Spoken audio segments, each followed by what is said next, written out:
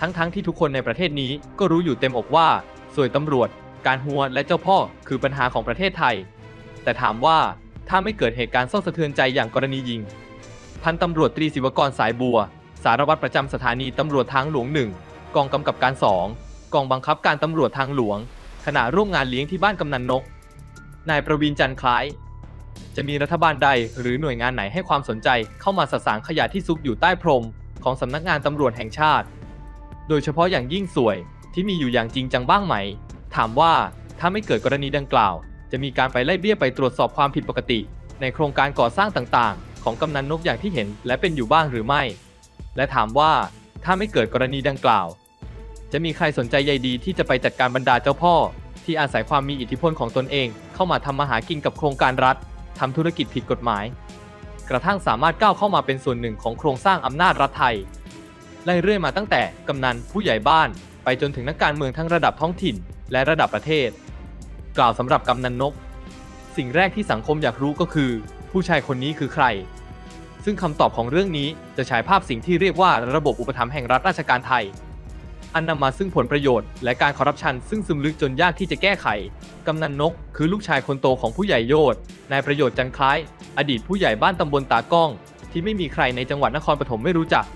เป็นผู้ใหญ่โยธซึ่งรับรู้กันว่า คือหัวคะแนนคนสำคัญของกลุ่มการเมืองชื่อดังในจังหวัดนครปฐมแต่ที่ต้องขีดเส้นใต้สองเส้นก็คือ มีธุรกิจรับเหมาก่อสร้างขนาดใหญ่ ที่คว้างานประมูลโครงการของภาครัฐ รวมทั้งรถบรรทุกที่มีอยู่กว่า 100 คัน ซึ่งธุรกิจดังกล่าวได้ถูกส่งต่อมาให้มาอยู่ในความดูแลของลูกชาย จากการตรวจข้อมูลพบว่า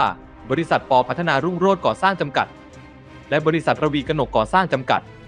ซึ่งมีกำนันนกเป็นกรรมการบริษัท ได้ประมูลงานโครงการของรัฐ ตั้งแต่ปี 2554 ถึง 2566 ใน 11 จังหวัดจำนวน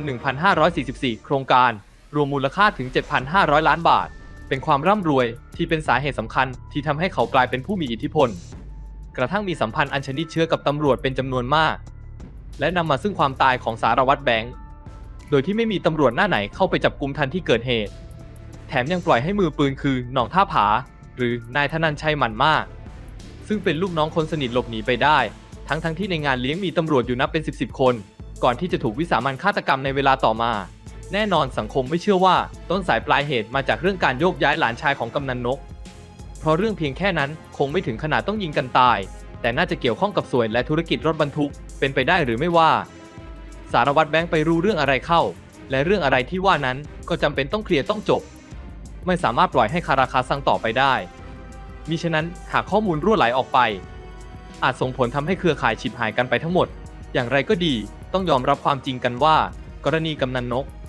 เป็นเพียงส่วนหนึ่งของภูเขาน้ำแข็งแห่งระบบอุปถัมภ์ซึ่งเกี่ยวโยงกับผู้มีอิทธิพลที่เพิ่งจะโผล่พ้นน้ำจากผลพวงของความตายของสารวัตรแบงค์เท่านั้น หากแต่ในหลาย ๆ จังหวัด หรืออาจจะทุกจังหวัดก็ว่าได้ ที่สถานการณ์ดำเนินไปในลักษณะนี้ แล้วแต่ผู้กว้างขวางไปจับธุรกิจอะไร ค้าที่ดินปล่อยเงินกู้ เปิดสถานบริการค้ามนุษย์ รถทัวร์รถตู้ รถบัส เลยไปจนถึงธุรกิจสีเทา บ่อนการพนันออฟไลน์ ออนไลน์ โดยมีคนมีสีเข้าไปเกี่ยวข้อง และสยบยอมทั้งสิ้น ที่สำคัญคือคนเหล่านี้ก็ล้วนแล้วแต่เป็นคนของนักการเมือง โดยบางรายลูกพี่ใหญ่โตถึงขนาดเป็นนักการเมืองระดับชาติก็มี เมื่อสำรวจตรวจตราบรรดานักการเมืองระดับชาติก็จะพบว่าแทบจะทุกพักล้วนแล้วแต่มีบ้านใหญ่เป็นนกลไกสำคัญในการเลือกตั้ง ดังนั้นการขึ้นทะเบียนการปราบปรามผู้มีอิทธิพลจึงพูดง่าย แต่ทำยาก เพราะมีเงื่อนปมเรื่องพวกใครพวกมันเข้ามาเกี่ยวข้องด้วย ถึงตรงนี้จะเห็นได้ว่าในสังคมไทยระบบที่ว่านี้ฝังรากลึกลงไปยาวนานจนยากที่แก้ไขได้ หรือถ้าจะแก้ไขกันแบบขุดรากถอนโคน ก็เกิดข้อสงสัยว่า อาจนำมาความพังทลายของระบบรัฐราชการไทยก็เป็นได้ เพราะแม้ข้าราชการดีจะมีอยู่จำนวนมาก แต่ก็ต้องยอมรับเช่นกันว่า การรับสวยการรับสินบน และการทุจริตนั้นได้แทรกซึมในทุกหน่วยงาน จนแทบจะไม่สามารถแยกออกจากกันได้ ไม่ใช่แค่เฉพาะตำรวจเท่านั้น